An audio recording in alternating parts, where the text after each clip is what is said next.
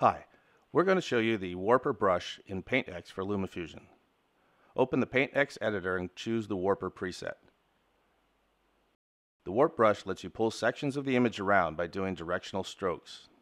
For example, it will let you make one of this tiger's eyes bigger.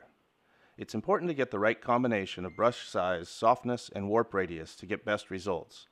In general, a larger brush with a soft edge and short stroke distance and small gentle strokes will give best results. Some trial and error is required. Experiment until you can get good results. Okay, so this is a decent result on the left eye. Now I'll track that. I can do the same on the right eye, but I want to use a different track. So we make a new track layer. Apply the warper on the right eye in the new layer and when you are happy, hit the track button. That's it. You can scrub the result and exit to see it on the timeline in LumaFusion.